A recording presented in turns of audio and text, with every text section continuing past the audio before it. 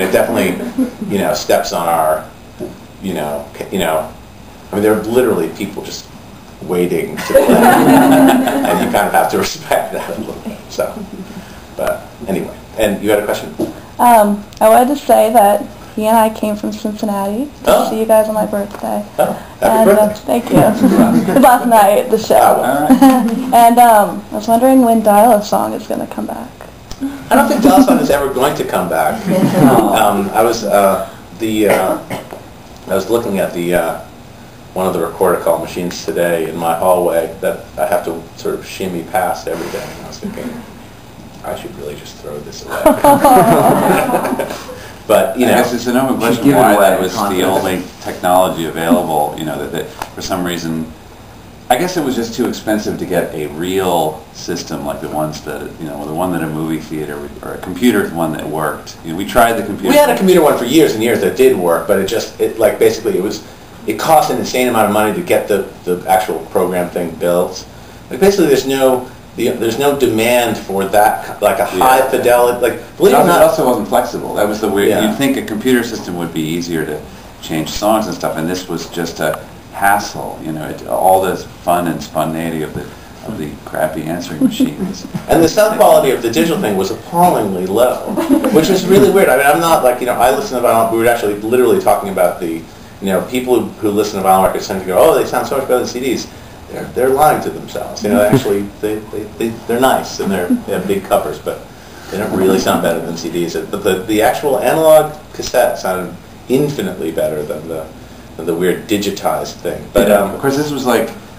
Maybe Well, it's probably 10 like- years I'm sure they that could do files. like the file had could only be 8K or something like that. So, you know, I don't know. I, would I feel like the internet, you know, like the podcast thing, really works for us because we can we have a lot more elbow room to do stuff in that, and it can reach a lot more people very very easily. You know, like you know the the the number of people subscribing to the podcast is insane. So it's just if we're going to dedicate a certain amount of time doing something that's that's just you know a free thing, I feel like it should at least reach the greatest number of people. So. Apparently, there are, there are actually fewer people with telephones now. So, you- question? Could you talk a little bit more about what you're doing these days? Um, you Well, we just finished. recording and Yeah. Well, um, we we uh, we just finished, uh, and, and we've done a couple of uh, kids projects in the past few years, sort of ping pong back and forth between regular rock albums and kids albums. We just finished a uh, an album uh, called uh, Here Comes Science. That'll be out sometime, probably the next three to six months, I'd imagine, depending on how quickly the video stuff gets done. They're also, the kids' projects are also DVDs with animations and stuff. So um, it's a little bit more relying on other people to wrap up their stuff to get that done. But, um, uh, and we're working on a, a new rock album that, you know, will be out probably in the fall as well.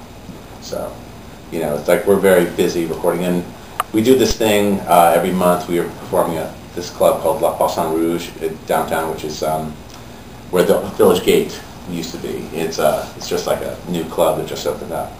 And uh, so, yeah, we actually just played there last night. Once a month? Yes, once a month. Yeah, the- and the, well, the, we should bring up the, the, the, I'm just actually wondering, how did that, we got a piece of hate mail already about. It wasn't. It was. It was hostile mail.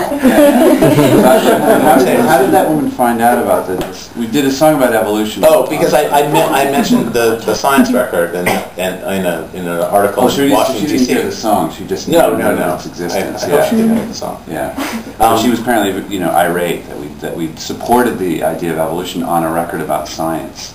Um, Yeah, it's really, you know, I mean, I have to say George George Bush has done a very good job of just changing like the base level of like what is nor- considered normal. Because I, you know, having grown up with science records and, and scientific theories being pretty non-controversial, it seems like all of a sudden you're like opening this crazy like culture war, Pandora's box, you know, gravity. Hmm, I don't think the.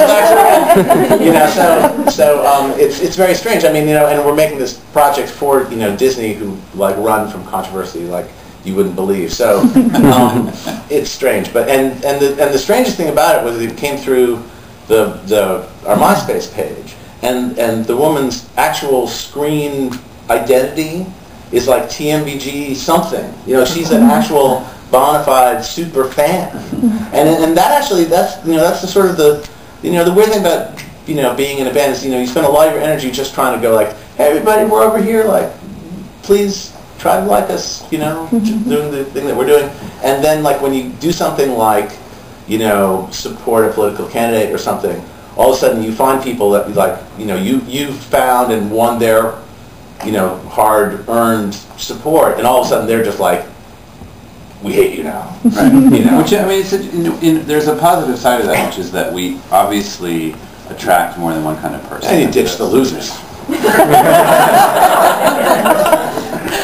But I you mean, have we- a problem we- when you wrote about the sun? Like going around? Oh, oh, oh, the, Was you mean like- the, the actual fact checking? Oh, oh, the, No, the, I'm does she have a problem with the sun had a going problem with evolution? Did she not have a problem with the earth current? Oh, with the Well, she's just a highly religious picture of the- person. You know, she's a highly religious person. I mean, she, you know, she just she believes in, you know, the Bible in a in a very literal mm-hmm. way. I mean, there are a lot of people who do. You know, there's It's a huge fundamentalist movement. that kind of thing is, like whether it requires, you know, in other words, like people sort of go along with a general idea, like, oh yeah, science is okay, it's medicine's good, but then if you nail it down to something specific, like evolution, that that suddenly opens up Right. the problem, you know, where they're, where they're really, and it just, it makes you think that people don't think very hard, you know. Yeah, it'll be interesting to see what happens. I mean, perfectly honest, like, when we sort of submitted the finished album last week, it'll be interesting to see, like, if there's any kind of crazy blowback. I'm excited. right. Because I mean, we really, we really did write the project about science, and science is really only about one thing. So it's not about it's not about everything. Right. So- Do, do one or both of you have a special affinity for science? And is, is Triangle Man really about physics? Uh, yes and no. Short answers, yeah. No, I think we, we both think science is cool, you know, and we're old enough now that we won't get beat up for. um, uh, but, um, but no, Triangle Man, that's an example of that kind of song where there wasn't, there wasn't a, a really specific hidden meaning. I feel like I explained that in the, in the film at some point. Um, uh, it's, it, you can't say it enough times though. It, it, uh, uh, it's it re, it's a what you hear is what you get song. There's nothing else in my mind that the song uh, uh, Particle Man is about. It's just it's just uh, an impression you get from that particular set of lyrics. And you know that's I think that's what's nice about it in a way. It doesn't it doesn't need annotation. You know? I mean some songs do. I think I think it's it's fun to find out that you know.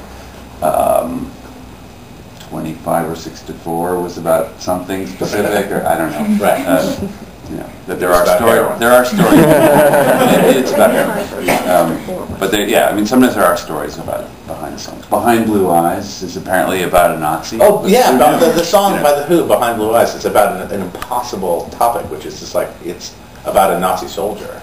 Right. And and what's funny is that even when, when like you see all these you know behind the music things with you know Pete Townshend who does this kind of thing like all the time, he never talks about that, which is uh I don't know.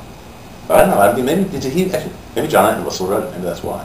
I don't don't know. But it's a strange it's a strange song when you read the lyric. It's abs- absolutely.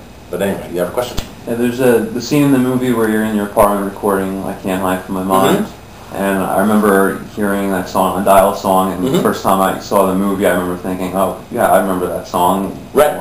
And I was wondering if you, if seeing the film uh, made you had a similar reaction that actually caused it to be, be recorded for the spine.